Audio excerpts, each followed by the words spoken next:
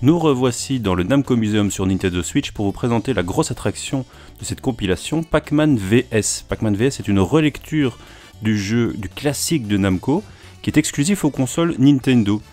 Euh, il, est déjà apparu sur une compilation euh, Namco Museum sur Nintendo DS et auparavant il était également présent sur Nintendo GameCube. En réalité c'est Pac-Man avec un, gameplay asymétrique. Le gameplay asymétrique qu'on nous a tant vanté pour la Nintendo Wii U, eh bien il revient ici sur Switch.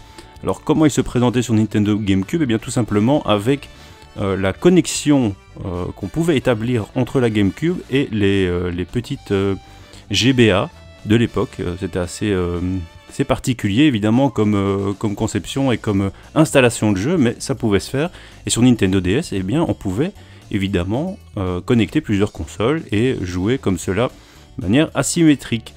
Sur Nintendo Switch, eh bien, vous allez pouvoir jouer à plusieurs sur une seule console dans un mode de jeu.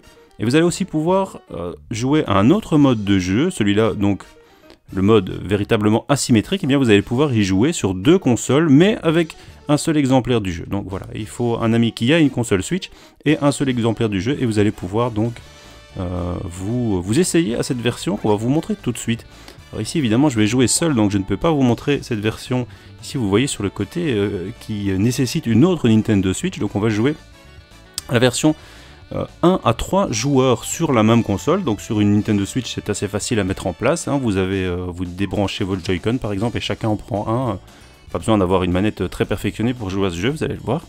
En gros, voilà, c'est une, euh, réinterprétation de Pac-Man où un joueur, dans cette version-ci, un joueur va incarner Pac-Man et les autres vont incarner les fantômes. Et dans cette version-ci, eh bien, le Pac-Man est dirigé par l'ordinateur et chacun des joueurs euh, incarne hein, l'un des fantômes. Et donc le but pour les fantômes, ce sera d'aller évidemment gober notre bon vieux Pac-Man.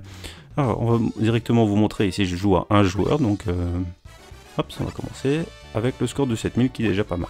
Alors plusieurs niveaux sont disponibles, euh, bon, je vais vous montrer avec le, niveau de Pac-Man original évidemment, hein, le, grand niveau qu'on connaît tous. Alors, vous voyez ici, je vais jouer avec le fantôme rouge, et les trois autres personnages sont euh, incarnés par l'ordinateur, sont dirigés par l'ordinateur, pardon.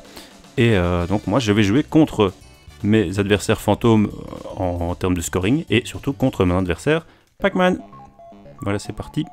Vous voyez la présentation très élégante, hein, bien, bien différente des autres présentations des jeux de cette compilation. Et voilà, vous, me voyez ici sur la gauche de l'écran en haut, voilà, Pac-Man a déjà attrapé une pack-gomme qui lui permet de mordre ses ennemis. On va essayer de l'éviter pendant ce temps-là. Hop, hop, hop. Et vous voyez ici, donc moi je me trouve en haut à gauche. Et les autres fantômes ont chacun un petit, un petit écran devant eux. Et tout en bas, voilà. Ah ben voilà, quelqu'un vient de... L'ordinateur a déjà gagné.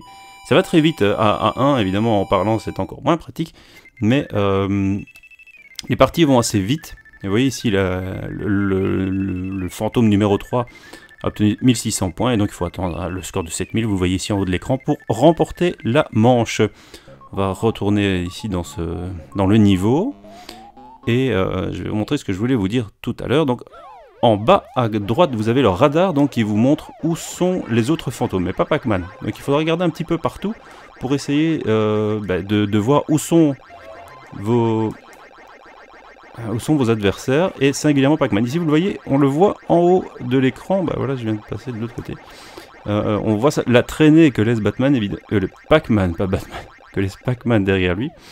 Et euh, c'est assez difficile, évidemment, de, le suivre à la trace comme ça sur un plus petit écran, mais vous allez avoir la possibilité parfois de d'agrandir, disons, votre champ de vision. Voilà, voilà encore Pac-Man très énervé. Oh là là là là. Et je vais essayer de ne pas me faire manger c'est trop tard, voilà. Et quand on se fait manger, eh bien on perd des points. Là, j'avais déjà zéro, donc c'est pas un problème. on va essayer de retourner. Euh, j'aimerais bien gagner une partie pour vous montrer évidemment comment ça se déroule, mais euh, Pac-Man est décidément très énervé, donc vous voyez. Ici, vous allez pouvoir donc jouer au chat et à la souris avec, euh, avec lui, en espérant que, voilà, ici c'est pas mal, je vais peut-être essayer, voilà, ici j'ai quand même il part du mauvais côté, donc voilà, c'est toujours pareil. Hop, ici, ah non, je de me retrouver de l'autre côté. Et donc le, champ de vision va pouvoir être... Et voilà, je viens de l'avoir. Ah voilà, 1600 points pour moi, excellent. Ben, je crois qu'on va se quitter là-dessus. Je ne ferai pas mieux d'ici la fin de la vidéo.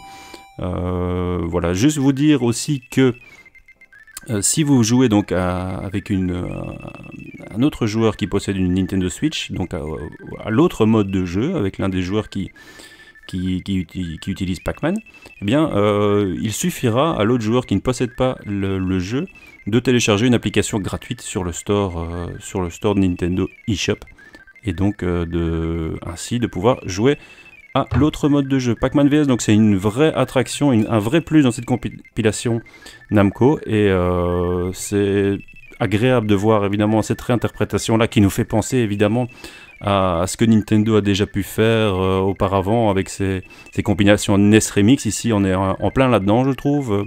Et euh, c'est assez agréable. Et à mon avis, ça montre la voie à suivre pour les prochaines euh, rééditions de classiques. Voilà, c'était Space Cowboy pour Prestart. À la prochaine!